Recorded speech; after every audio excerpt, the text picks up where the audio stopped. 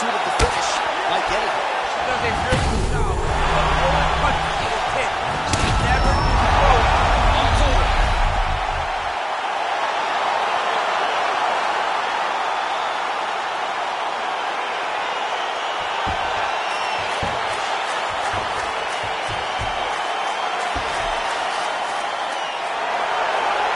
on Take a look back at some of the pictures from this one, and she had it all going on tonight, but certainly her boxing was on boxing always is what allows her to dictate the pace of fights.